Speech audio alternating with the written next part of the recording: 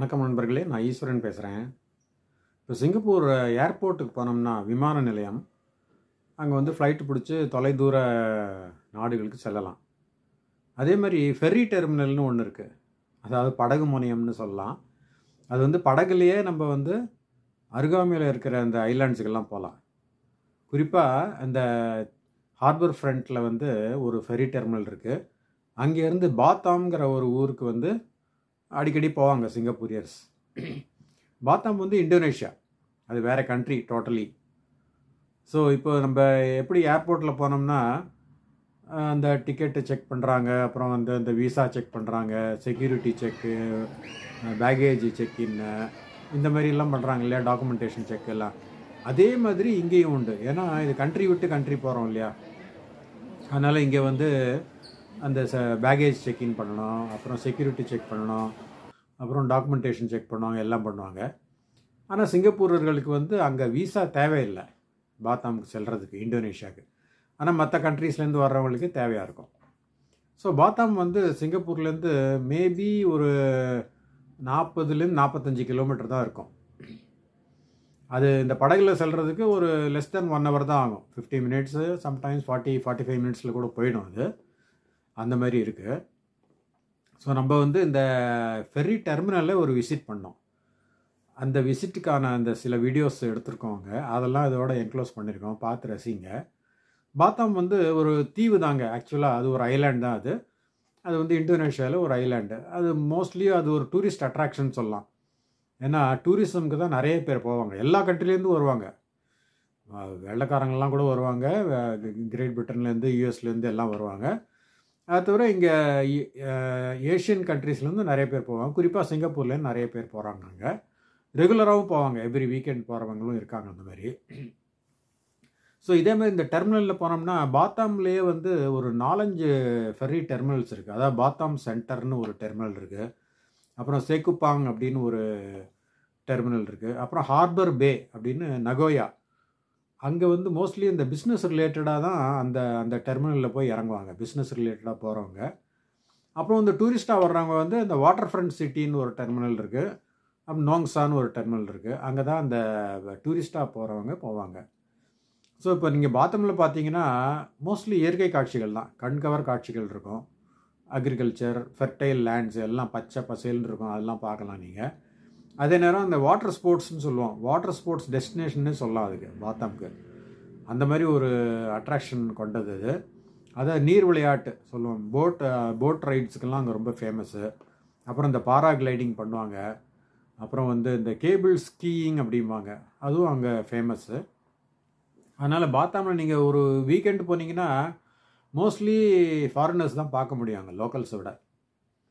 So அது வந்து local Indonesian language தான் பேசுகிறாங்க அவங்க பஹாசா இந்தோனேஷியான்ட்டு அந்த லோக்கல்ஸ் வந்து அவங்க நேட்டிவ்ஸ் தான் அவங்க.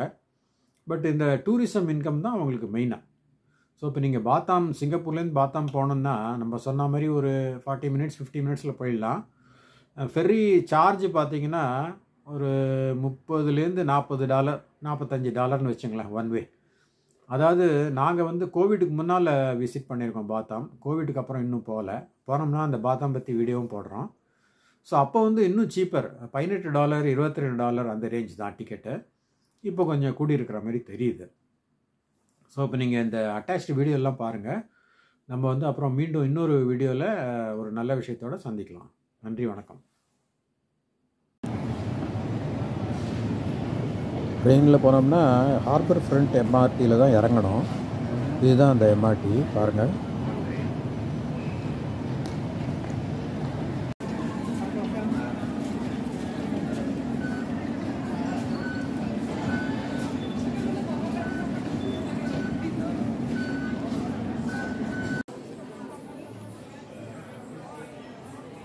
இது வந்து ஹார்பர் ஃப்ரண்ட் சென்டர். ஒரு ஷாப்பிங் மால்னு வச்சுக்கலாம். நிறையா கடைங்க இருக்கும். அது வழியாக நேராக போனோம்னா இந்த ஃபெரி டெர்மினல் வரும்.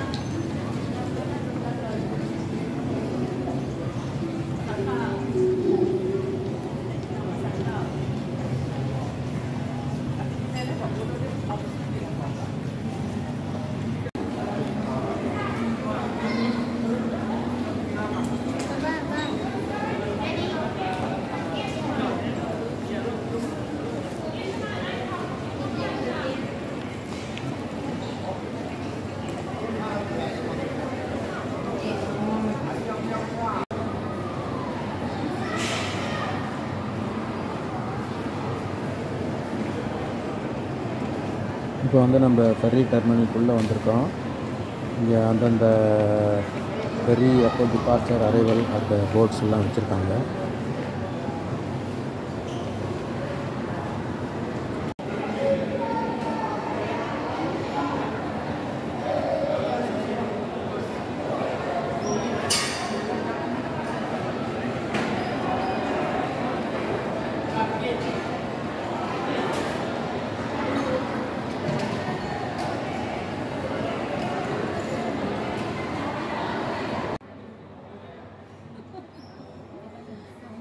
இங்கே நிற்குது பாருங்கள் இதுதான் ஒரு ஃபெர்ரி இது இன்னும் எப்போ ஸ்டார்ட் ஆகும்னு தெரியல. போர்டிங்லாம் ஆகணும். அதனால் அது இது வந்து ப்ராப்ளி பாத்தாம் போகுதுன்னு நினைக்கிறேன்.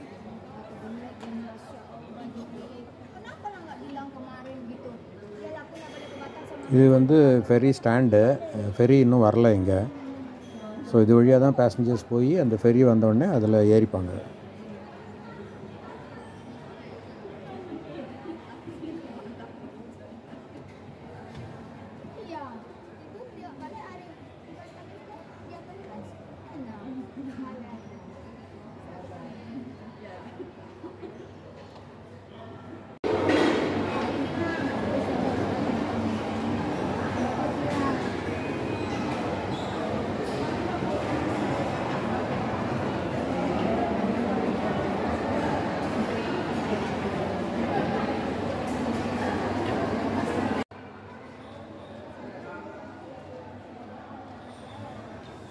பின்னால் பார்த்தீங்கன்னா அந்த விஞ்சுன்னு சொல்லுவோம். விஞ்சு. அது வந்து செந்தோசா ஐலாண்டுக்கு போகுது இங்கேருந்து. அதில் வந்து மக்கள் இருப்பாங்க. பறக்கும் கார்னு சொல்லலாம்.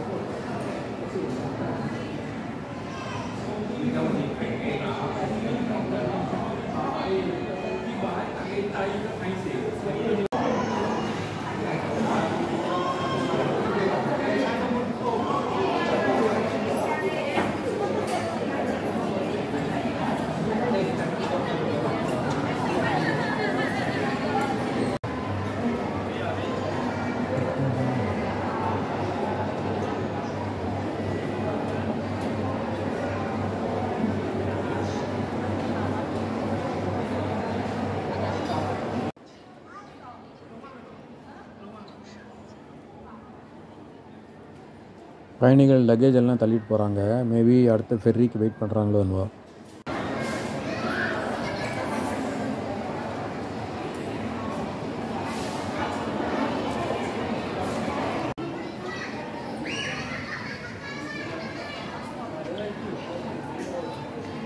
இதெல்லாம் வந்து ஃபெர்ரி கம்பெனிஸு அவங்க ரெண்டு மூணு கம்பெனிஸ் இருக்குது அங்கே வந்து டிக்கெட் புக் பண்ணலாம்.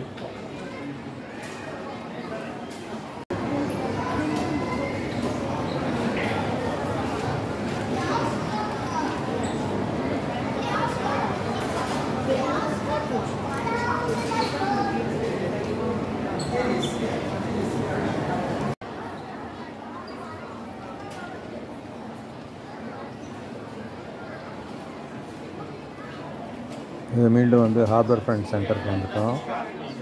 எங்கே பார்த்தாலும் கடைகள் தான் உணவகங்கள் தான் fast food sweets toys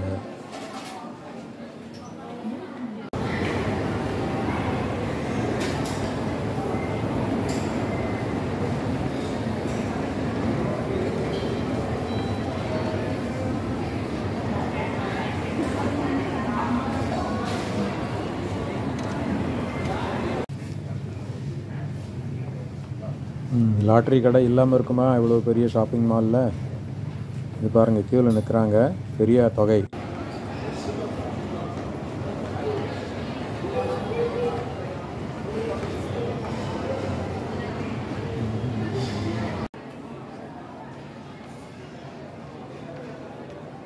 Gopi டைம்னு போட்டிருக்காங்க இல்லையா? அதுதான் காஃபி டைம் அங்கே வந்து எல்லா உணவு உணவு வகைகளும் கிடைக்கும். அங்கே போய் காஃபி சாப்பிட்டுட்டு ப்ரெட்டும் சாப்பிட்டுட்டு அப்படியே வீட்டுக்கு கிளம்புறோம்.